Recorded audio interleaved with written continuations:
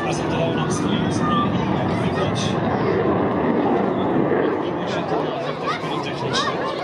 Mieliśmy symulowane ostrzelanie z powietrza, zrzucenie wcale nie tak małych